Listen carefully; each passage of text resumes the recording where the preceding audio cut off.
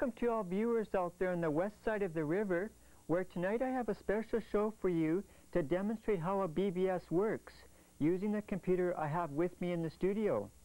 I would like to acknowledge my appreciation to Leonard Boucher for bringing it down to the studio so that I can show some things about BBSs and how they work. I'm going to take you into a program where I will show you step by step how to configure modem and terminal. Then I will actually log on to Live BBS and show some basic things that it can do. I'll be airing some more BBS numbers for you to call later on in the show.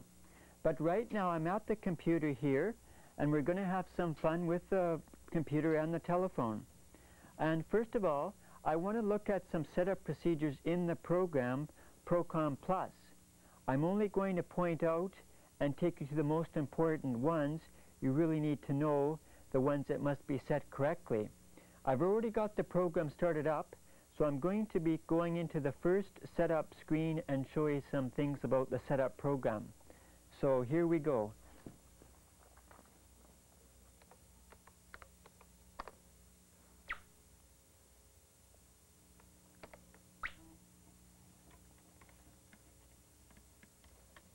Okay, the first procedure I'm going to show is how the modem is set up.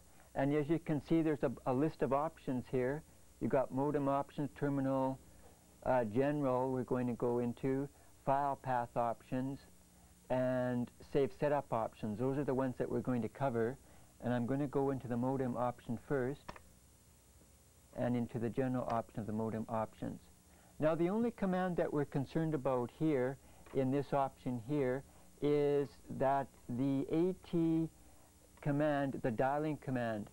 Uh, this is important because if you have a, a, dial pulse phone or a rotary dial, you would use the command ATDP. If you have a touch-tone phone, you would use the command ATTD. Okay, so that's important that that's set correctly there. The other ones here, wait for connection, that's uh, to allow the phone to keep dialing until it disconnects. Uh, standard is 30 seconds, that's the default. Pause between calls if you're redialing. That one will uh, pause before it attempts to do another redial. So that's uh, those commands there. Now if you want to change one of those commands, all you do is enter a letter like that, and then you would retype in the appropriate one, ATTD or ATDP. It's correctly set right now, so I'm just going to hit enter and hit return. Now we're all finished with this screen, so as you can see over here it says exit out of this modem option screen, so hit exit and we're back to this point here. And we'll hit ESC again. And the next option we're going to go down to is the terminal option. And the way you access these options too is you move the cursor down and then it highlights it as you can see on the screen there. And we hit enter again.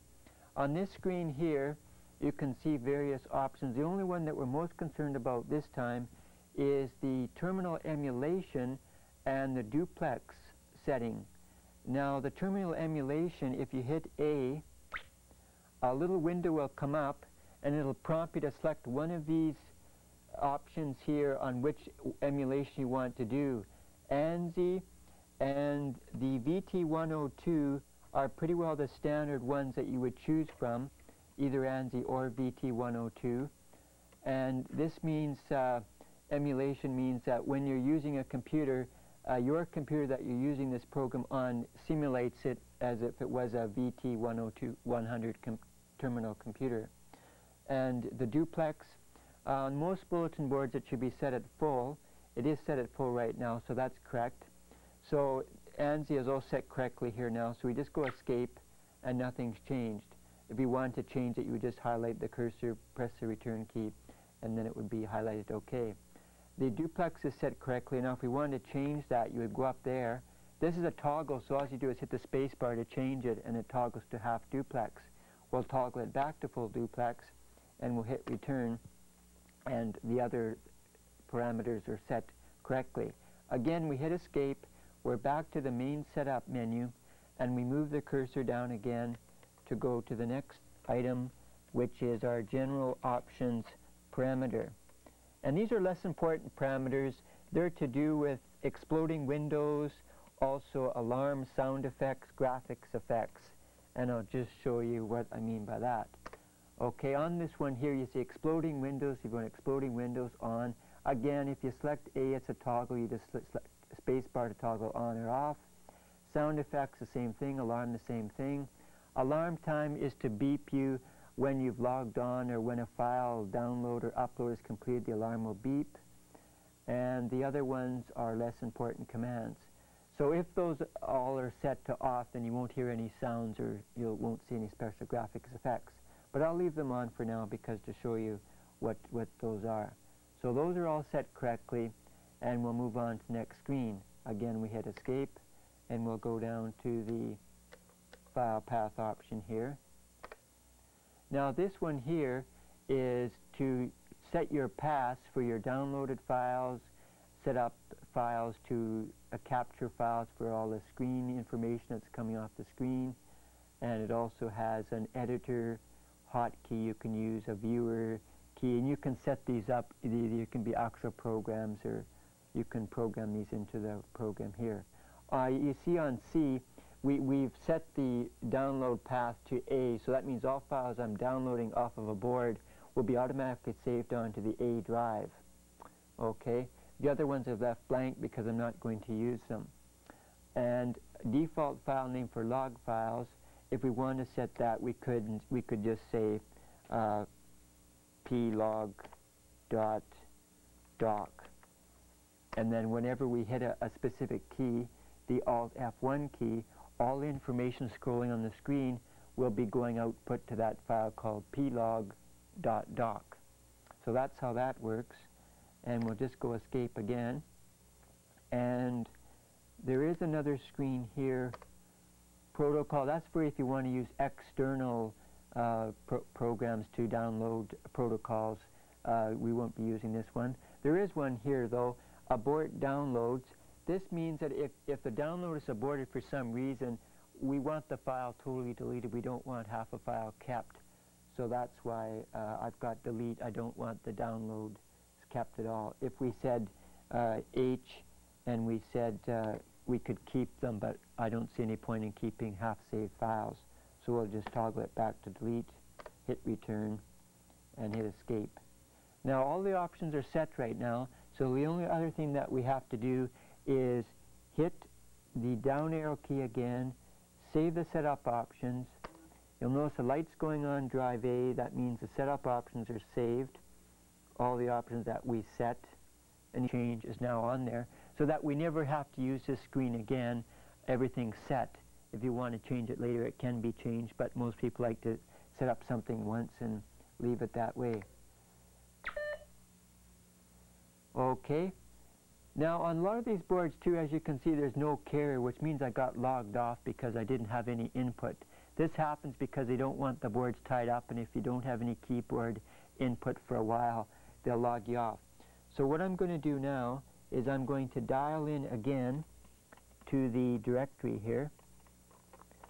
Uh, but first of all, I, I'm going to show you one last thing here that we have to do. This is another setup screen. This one here shows you the current settings of the baud rate at 1200, no parity, 8 data bits, 1 stop bit, and you're using COM port 1. As you can see down there, there's a, a list of options, 1 to 9. All you do is enter a number 1 to 9, and your baud rate will change up here. The same with parity, the same with data bits, stop bits, and COM port.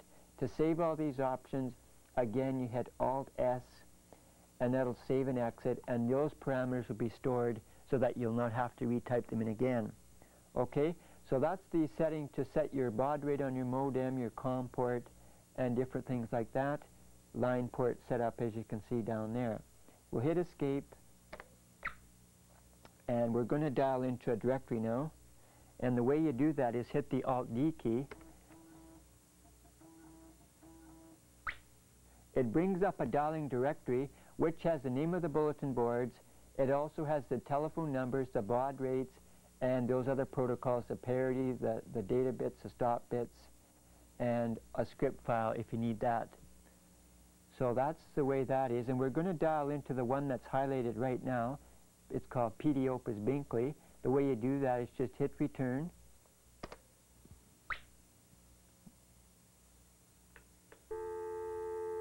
You can hear the tone of the modem and the dialing tones there. It's actually dialing the phone number.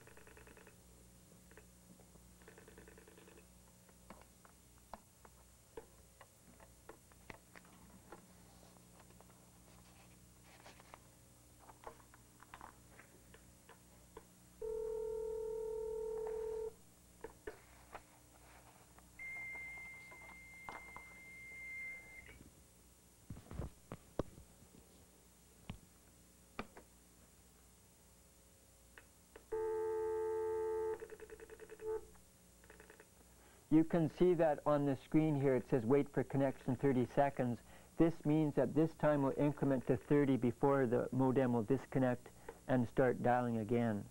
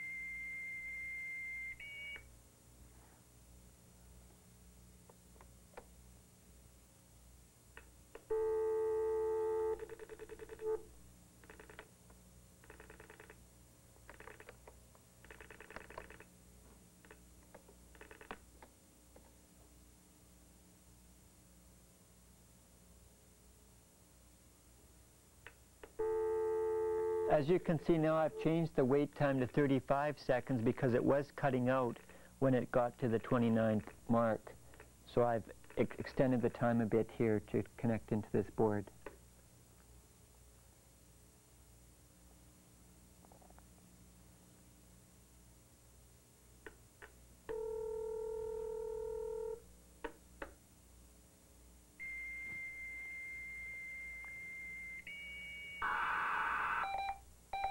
It's now beeping its signal that the board is connected up and it's about to log on to this board here.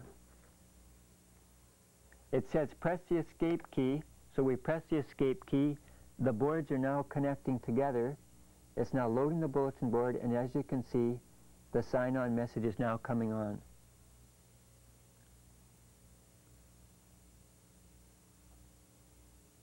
It's asking for the first name. So you enter the first name, upper or lower case, it doesn't matter. You enter the last name. It asks you, it confirms the name you've typed, and it's asking for your password now.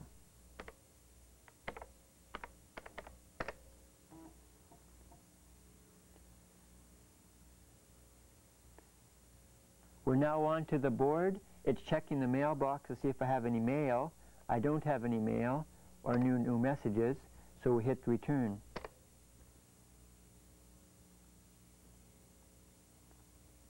As you can see at the bottom is a status line which tells what baud we're at. Uh, the log is closed right now and we are online.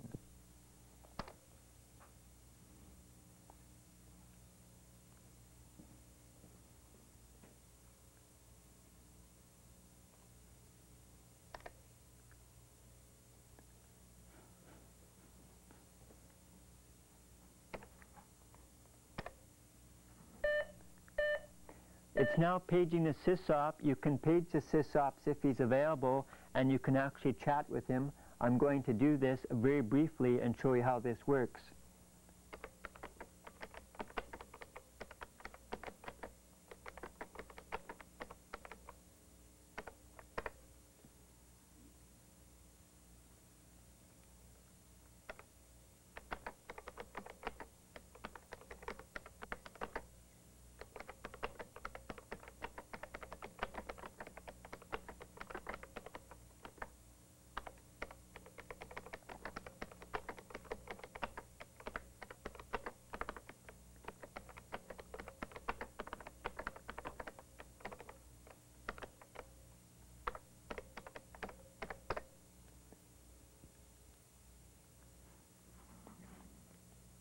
As you can see, there's kind of a window set up here too where this, the top one is my window, the bottom one is Alan's window, and he's typing in some information now.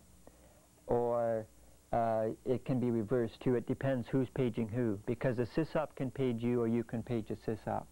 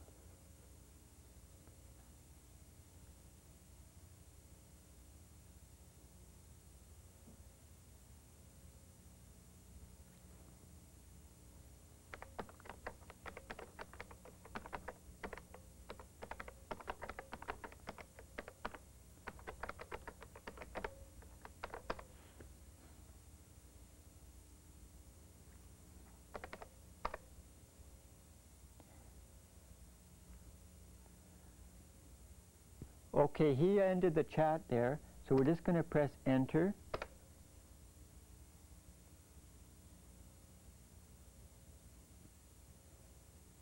Now to go to the main menu, it says push print, press enter, and there's options here where it says goodbye, log off, statistics, version, and we're just going to briefly when you're logging off, you can leave a note to the sysop 2 to leave many comment or messages. We'll say no. And as you can see, it leaves a, a log off message there.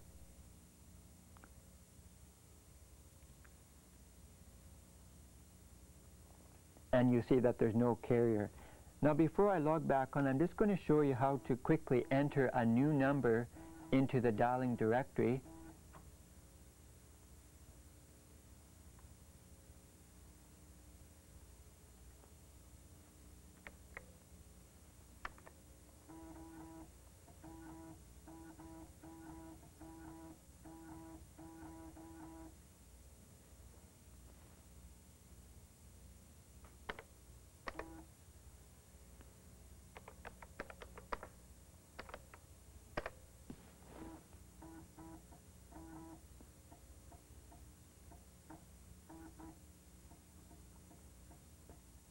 I'm reloading the program back in again.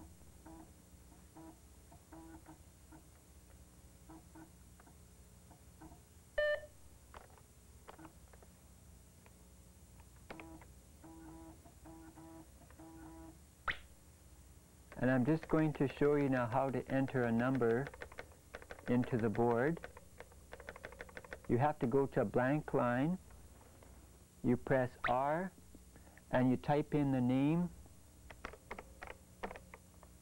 the number, we'll just give it a dummy number. The baud rate is okay, so we hit enter. The parity is okay, we hit enter. The data bits is okay. Stop bits is okay. Duplex is okay. Everything is okay, so all we do is hit enter. We hit enter again. And now you can see that there's a new entry in there called Aurora. I'm now just going to go back to the board that we are at before.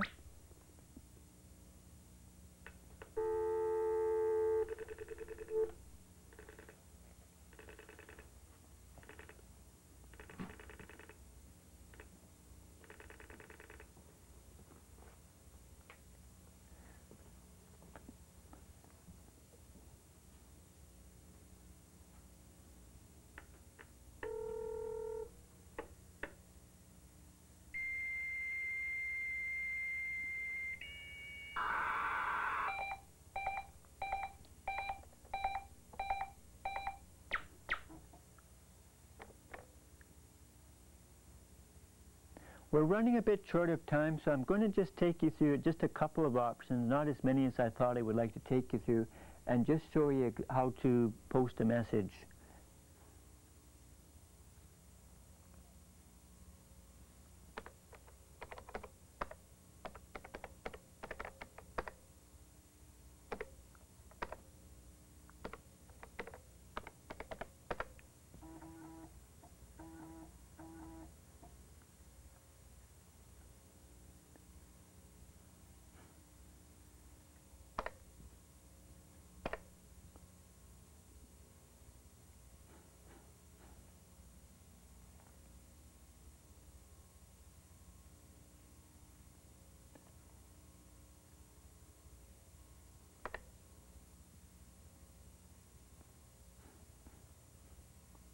There's a new number to call. Somebody's advertising a new bulletin board, 663-9078. A lot of people post messages like that on these boards to let them know about different boards that might be starting up.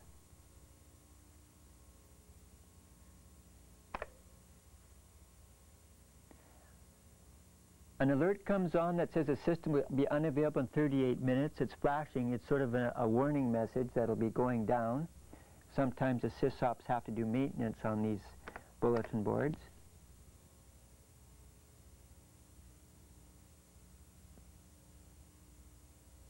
Okay, I'm just going to show you now how briefly to enter a message. It's E to enter message. This will just be a local message as you can see. It won't be a private message and it's going to be to everybody, so you say all, and it's just going to be, we'll just say a test message. And all you do is just type in your message and as it was regular typewriter, you can change the spelling.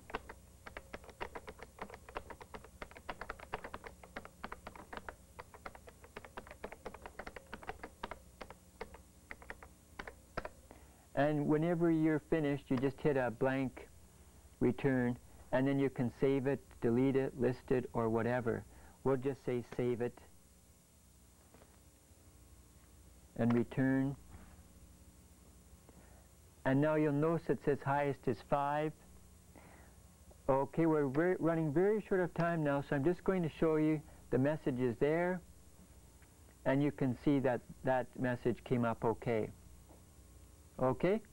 I'm trying to continue this on another program. Uh, it seems to be more involved. Uh, right now, we're just going to go back to the main menu. And we're going to log off. We're going to leave a brief message to Alan and say,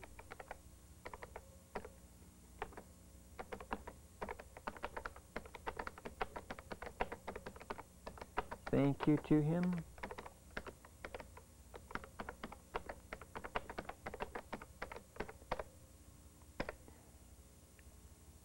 And save it and it'll just log me off. Okay, I'd just like to point out too to people that my new season will be starting soon and the next date of the show in the new season will be on the September the 4th I'll be on at 8 o'clock on this day. It'll be a live show. I'll be taking telephone calls again at 475-9944.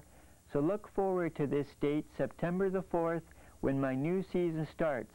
The next show for the summer season, the last show, will be on August the 30th at 11 o'clock. I hope you've enjoyed today's show. Thank you for watching.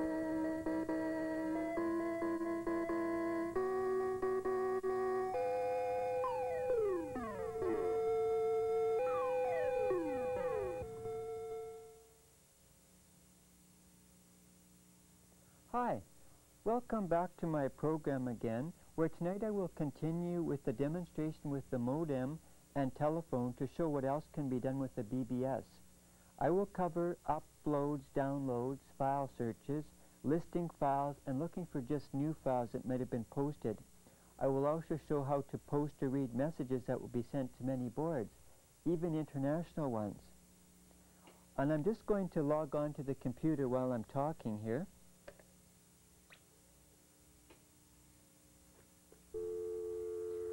While the computer's dialing, I'm just going to review very quickly what I talked about before, and that was setting up the modem.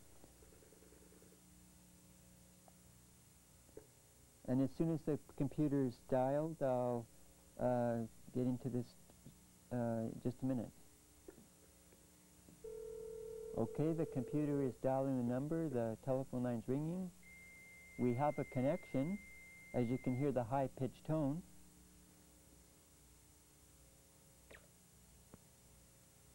And I'm just going to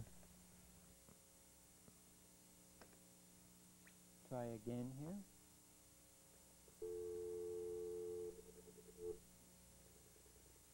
Last time I covered setting up the modem, the terminal, setting up the general options, the file transfer, the protocols, the line port setup, and the dialing directory.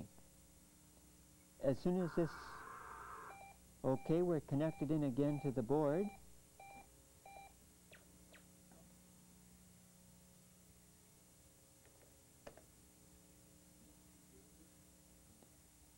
And we now are online. As you can see on the screen, it's the uh, welcome messages coming up to say welcome to the PC users group.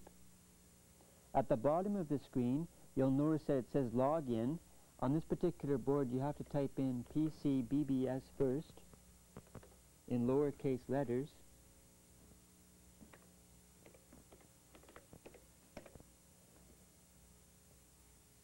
Then you type in your user ID, which in this case is just my first initials and my middle initial and my last name.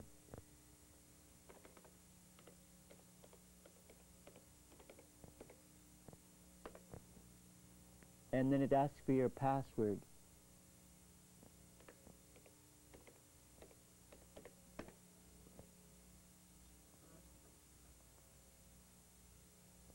Okay, now it just comes up with a quote there. Now you can see that we're into the initial menu called the main menu. You'll see on the screen uh, the highlight is under mail. That's the option that's currently selected. If we want to select any options, all we do is just type in the first letter. For example, if we want to go to the upload, we type in U and now we're at the upload screen to upload a file. If you want to return, you just type in R and it returns. Okay. Now, first of all, I'm just going to show you how we download a file. And the way you do that, okay, is you type in D for download. The areas come up now, which are you can see there's the utility, spreadsheet, DBase, languages, communications, word processing, games, and miscellaneous. We're going to select one of these here, and we're going to select utilities. Now what comes up are the disks that you can select from under the utility area. There's many disks here, and I'm just going to select one of them. Uh, we'll select one called disk 1 and we will go uh, select disk okay so you hit D again. D for disk select disk 1 now it's going to tell you all the files on disk 1 okay? Now you can see in front of the file names now those are times that tells you how long it'll take to download that file. Okay we're going to pick the shortest one possible here and there's one that that's, will take 10 seconds long. It's called excelfat.com. What you do here is you select the file, file select, you type in the name, xflat.com, okay. Now you go E for execute. On this particular computer you press the page down key and then you press enter. You select the protocol but our protocol has already been set to SEAlink so we just press enter.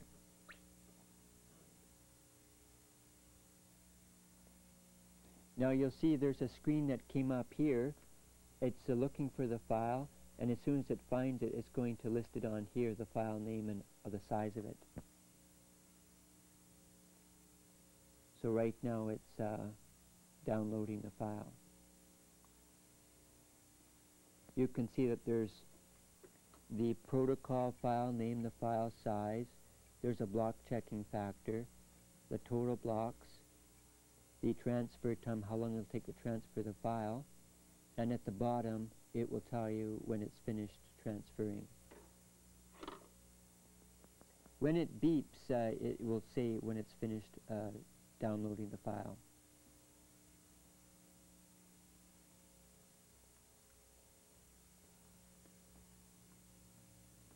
You also can do an arc list on this one too, which you can actually look inside with this option here, right inside the file, and it will tell you the files that are inside the archive. They could be exe files or text files.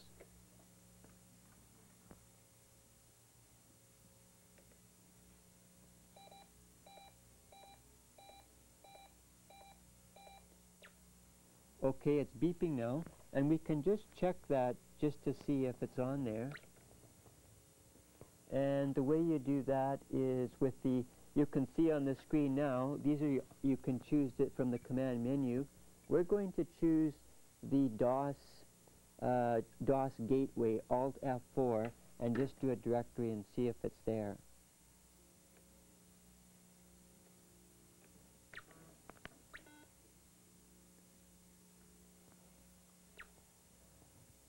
Okay, we cannot, uh, okay, we can do another way.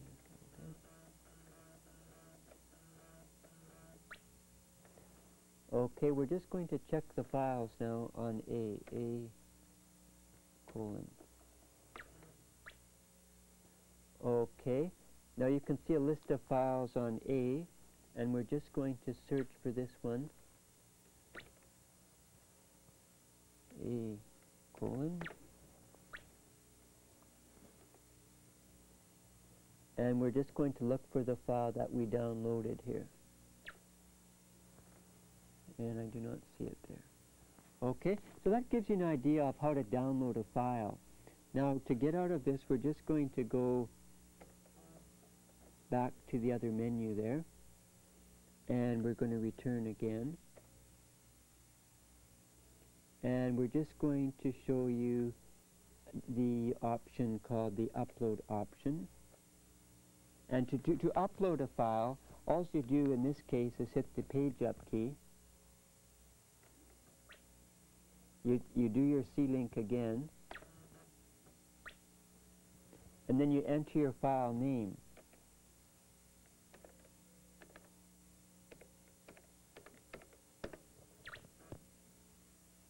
Okay, the window came up again as you can see, and it will display the file name again and all the data, and it'll it's uploading the file right now.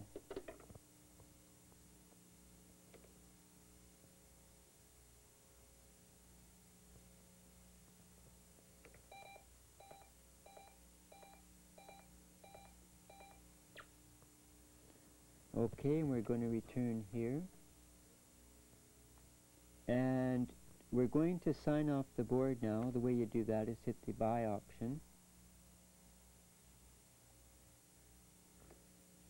And you should get, uh, okay, you got a no carrier, which means you are disconnected now. But sometimes you might have to hit a key to actually force the modem to disconnect it there.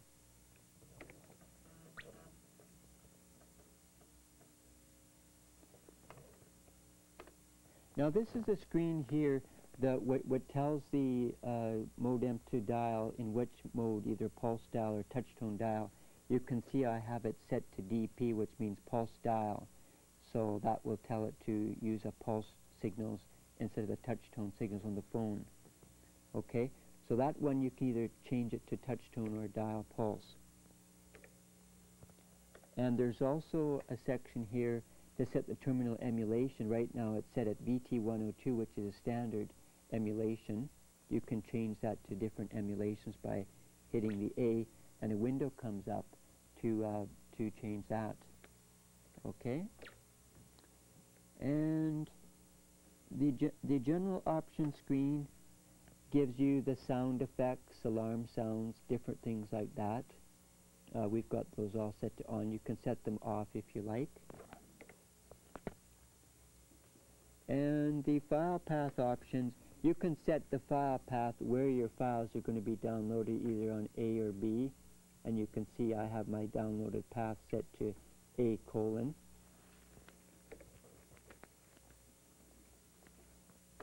And the protocol option, there's only one that's important on this one here. That's the abort downloads option. It means if you abort in the middle of a download, the file will be erased. You can keep it, but I see no point in keeping part of a file, so I've got it set to delete there. And then finally, after you've got all those options chosen, you just save them, and they'll be saved permanently so you don't have to use this screen again.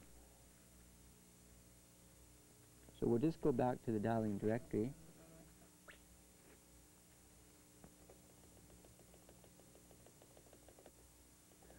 Okay, to enter a number, all you do in this case is go R to revise entry, and you would enter the name of the num the name of the board, the telephone number, and the baud rate is all the same, so you would just hit return, and then this would be saved to the screen uh, exactly like this here.